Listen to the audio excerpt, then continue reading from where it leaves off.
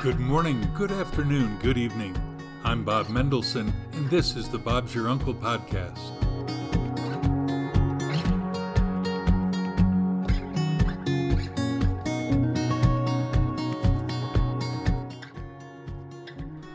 War in the Middle East. What is this about, and can it ever be resolved? Today we consider another opinion, this from Malik Dixon, a Sydney man who grew up in the United States, lived in the Middle East, and has a lot of social science background to help us unpack this. Stay tuned. You can now find us and comment to us wherever you get your podcasts. Tell us what matters to you, what triggers your joy, what bothers you in the world. Let us know. We'll see where the Spirit leads us.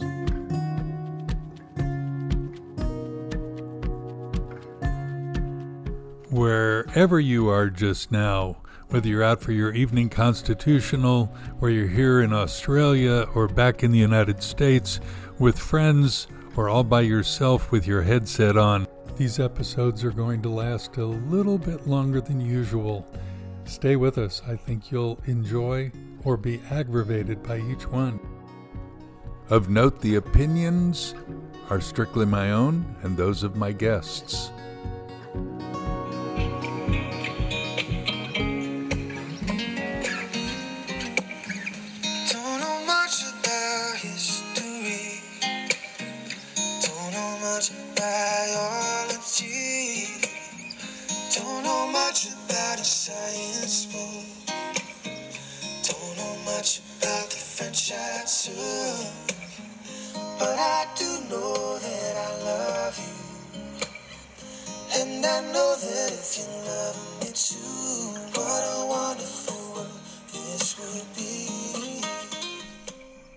On this date in history, the 30th of October, wars and rumors of wars. In 1961, the Soviets detonated Tsar Bomba. Somewhere in the Arctic Ocean, the largest nuclear weapon ever set off, it produced the most powerful human made explosion ever recorded. In 1905, Emperor Nicholas II issued the October Manifesto, bringing the end of unlimited autocracy in Russia and ushering an era of constitutional monarchy. In 1340, an allied force of Castilian and Portuguese Christians defeated the Muslim Marinids of North Africa at the Battle of Rio Salado, and in 1938, Orson Welles' radio dramatization of H.G. Wells' War of the Worlds was broadcast, causing great alarm, though reports of a nationwide panic were unfounded, as some listeners feared a genuine invasion from Mars. And that's the historical marker of the week.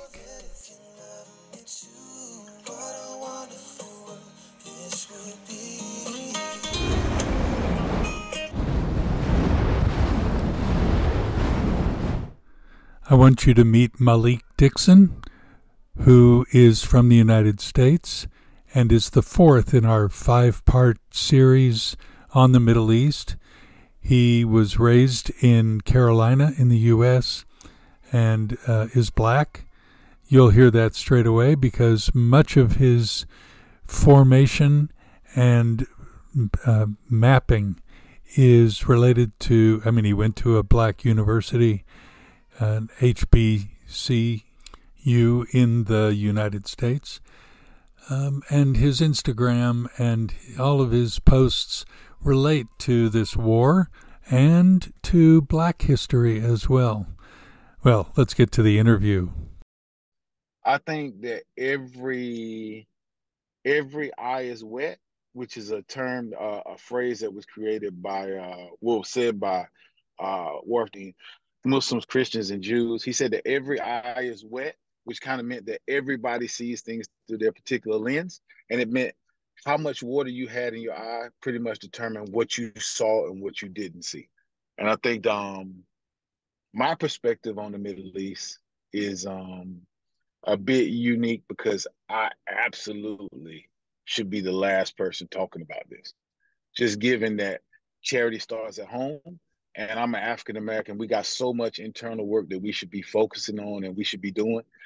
Right in America, and you know, I'm abroad, but right in America, we got so much stuff that we should, we definitely need to be focusing on. That we shouldn't be distracted by things that are happening everywhere else. But I've happened to live everywhere else, and I was a history major in college, so all of this stuff kind of is my personal interest, and I actually happened to live in the Middle East before, so I lived in the Middle East for about four years. So I got like a real, real, real on the ground take of what it's like.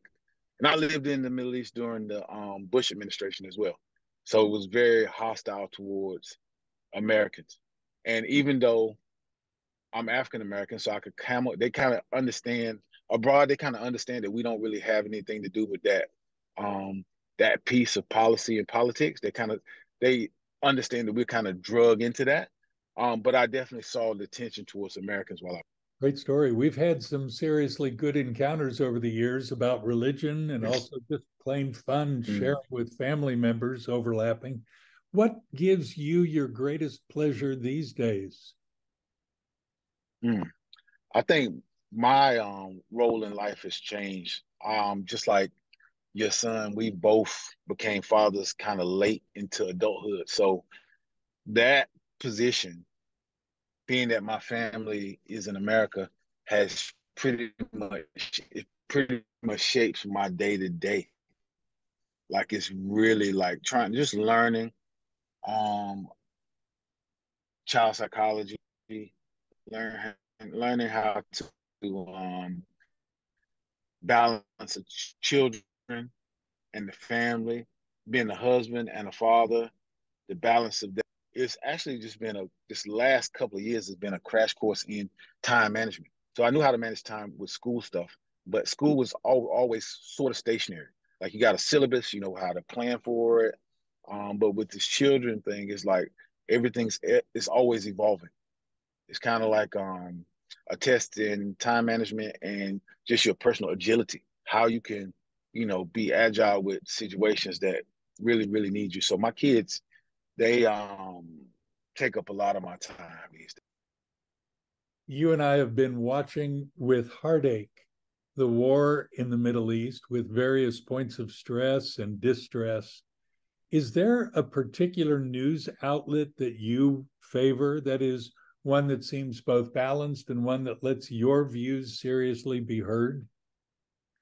I'll say this. I'll say that um, it's a tragedy that those people were killed, those Israelis were kidnapped, those um, Thai nationals were killed, kidnapped. The whole thing is a tragedy, man. Um, I watch all, all, the news outlets because I I understand how news works.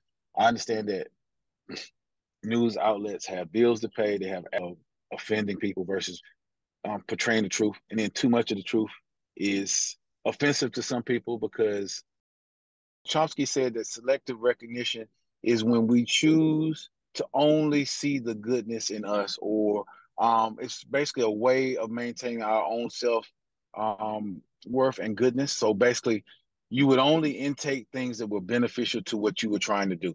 Like, for example, if I work for the United States military, regardless of any of the atrocities that we committed in Abu Ghraib or any failures we had in Iraq, I'm not thinking about that. Only thing I need to see for my morale and the people and my people is to see us doing good, making achievements, and ac- accomplishing our missions. Anything else is just something that we just rather talk about later or push that to the side and we'll deal with that in an email. Um, so with that being said, both parties, um, the the the uh, Israeli Defense Force in Israel and Hamas only view themselves as God's sent people. So you got two groups of people. You got two groups of people who say, "I'm doing the work of God." You know what I mean? So you can't tell. I I don't have a case to say, "Okay, God doesn't want you to do this." I can't say that because they'll just say, "Okay, we don't have the same belief structure. You believe in something different."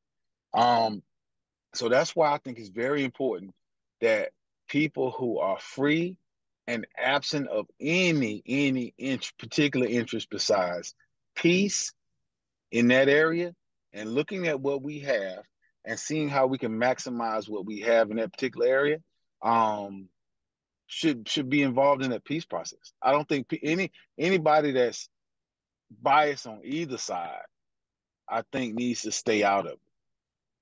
Have you I think this your own views about the Middle East over the years? I you know what, man? I think that um I, it's always been a problem. Like I've I, you know, I study history and I've lived there and I've always watched the news, I've always read newspapers. So it's always something that's at the front of your mind. You said that people involved should not be involved in the peace process. So my next question probably is not going to be re- proper because if you were elected the next president of Gaza, we got rid of Hamas, and the world said, we're going to put Malik on whatever they have in government. How would you solve, if you had the power, how would you solve the current Israel Palestinian crisis? Well, I think that more than anything, from what I've seen over the last five days, if you follow a guy on on Instagram called Shaun King, and um, not to be reductive to what's happened to the Israelis, um, but this is just what I, one of the things I saw. I saw Shaun King is a, I think he works used to work for the Washington Post in America, but his don't go to his Instagram. It's very it's like super confronting. He's got all the videos from like everything. So I just had to block Shaun King or put him on restrict him because I I just couldn't see any more of that. So um, just they're they're gonna need therapy. The people of Gaza, the ones that are still around and have are there now, they're gonna need therapy. I I don't cry about anything. Like I'm like, I maybe I cried when my daughter was born. I cried when I saw an interview of September 11th. I cried when my grandmother died. The other day I saw one video of like this guy in Gaza having to identify his son. They were they found all the other kids, but then when he was looking for his son, they said somebody go check the morgue. And when they checked the morgue, he couldn't even go near the body. I was just like, wow, that my tear ducts just malfunction. Once they get therapy, once we get all that together, and I'm pretty sure Israelis will need therapy, and they're probably going through what they need to go through now because, as you know, I'm a social scientist, so I know that my Jewish friends have had a heavy hand in psychology and sociology, psychiatry. So I'm pretty sure they are well taken care of. But these Palestinians are going to need therapy. And then second thing they're going to need is they're going to need to build an infrastructure that will be a combination of first thing we need to do to survive and thrive is we need to assure that Israel feels safe. They got to feel safe. And I'm used to do, being that person because as a large African American, in my encounters with Caucasian Americans, I had to always make sure they felt safe before we started. And once they feel safe, and it's not it's not like me going out of my way, pandering or anything like that. I just need to let you know this is who I am, this is what I do. I look like uh I look like this and I'm sound like this, but I'm actually this. Um and part of that fear comes from not knowing. So a lot of the white guys that I've met in America, because I come from the segregated South, they've never really had personal relationships with black people. You know what I mean? So making sure they're safe and then coming up with a program around the infrastructure, the economy, and then leaning on people that are going to help that happen. Like if you ensure that Israel is going to be safe, but at the same time, Palestinians need to feel safe as well. They need to say, this part of Palestine is not up for grabs for new settlers. This is it, it needs to those boundaries need to be established. And then you take countries like that have minimal resources but maximize everything they have. Like Singapore, you look at somewhere like the United Arab Emirates, you take Gaza and you say, we're going to mentor Gaza and build Gaza up to this. And we got a plan for Gaza. We see in Arabic, they got a, a particular word for politics called Hizbiyah. So in Hizbiyah is just po- po- political game. So because there was a a lack of um, structure in a lot of Arab societies, um, a lot of things happened to Arab societies. Like socialism came in, communism came in, Arab nationalism came in. The only places where that stuff didn't have a footing is places that they had a hard control over it. Like you look at places like Libya. When Libya was Libya, they didn't have that problem. When Iraq was the Iraq, they didn't have that problem because democracy, as well as it works, a popular democracy is is is um we praise democracy, right? We think democracy is great, um, and it, it is good. Um, but if you do a popular democracy now, and you were to say in North Carolina, um, should African Americans go back to slavery, and it was a, left to a popular democracy, I would hate to see the results. I would hate to see the results because a vote without education is just Uh, a popularity contest. You know what I mean? So that's exactly what you'll get when you have democracies that don't don't don't run by in, having informed voters. Malik, you're a you're a father of two really beautiful daughters. Thank you. You have any worries about the world in which they're growing? That is, is the world worse today than when you were a kid? To answer that question, the world that I grew up in and the world that my kids are growing up in are two different things.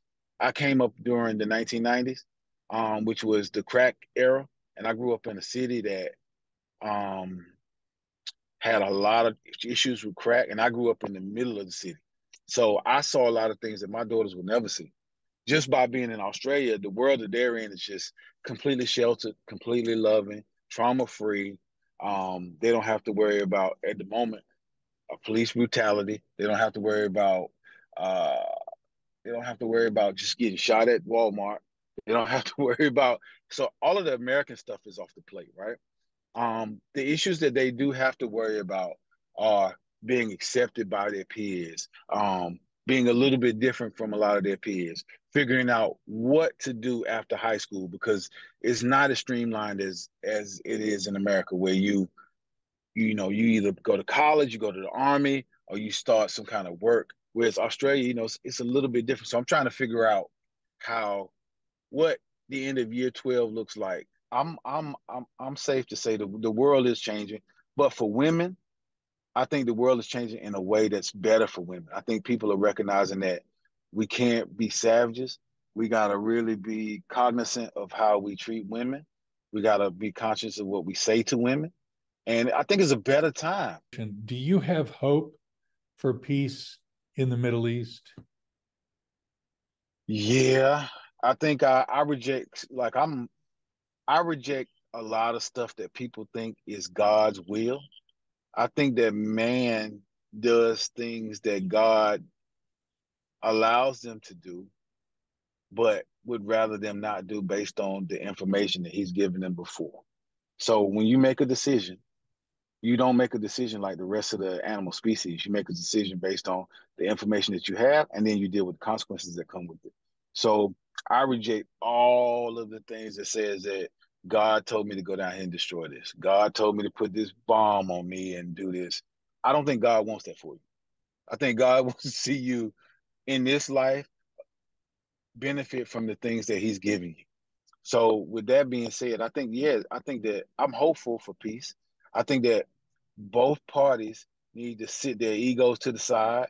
They need to be really honest with each other about where we are and what we can do with what we can do. And I think that any politician or anybody over the age of 45 needs to just get out of the whole Middle East thing. Because you bringing the views that got us here. You had 50 years to get it right. Like when I think about Netanyahu, he's made so many mistakes. The Israeli people want his ass out of there. So he's yeah, he he it's kind of like uh Joe Biden. I feel like you respect your elders, but I think this is a young man's world. I think that the young people got more information and they figuring stuff out faster than we are. We're just holding on to our father's enemies and we're just fighting our father's wars instead of saying, okay, let's get this right. This Middle East shit been going on too long. Let's clean it up. It's I mean, it's gotta be a better way. I think that we we gotta learn how the biggest struggle to get to anybody's heaven or get closer to HaShem, Allah, God, Jehovah, Yahweh, is to learn how to live with each other. To different tribes, to say we're gonna live with each other and we're not gonna slaughter each other. We're gonna figure this out. We're gonna share the resources. You know what I mean? And that's just it's just we gotta evolve from the Iceman inheritance. When we came out of caves and we didn't know how everybody was a threat because they were a threat to our resources. We didn't we didn't have uh, agricultural society where we can just grow food and it was renewable. So any food or any resource, I had to kill you for it. We got to. I mean, we come a long way.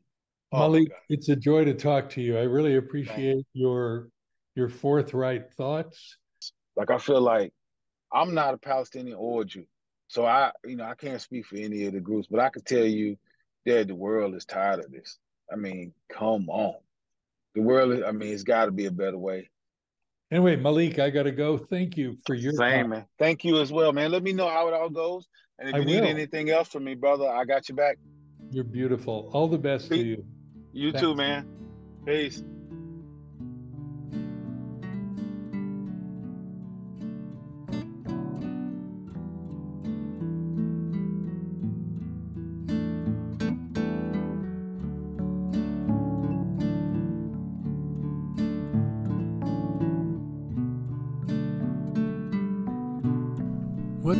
Think about all this? Why don't you write me, Bob Mendo at AOL.com, or comment on an Instagram or TikTok to me? I'd love to know what you're thinking.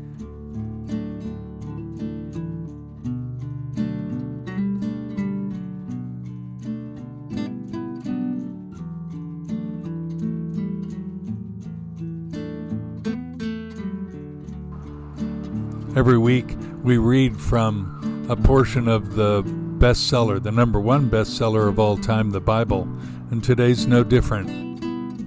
From the Gospel of John, the words of Yeshua himself Peace I leave with you, my peace I give to you, not as the world gives do I give to you. Don't let your heart be troubled, don't let it be afraid.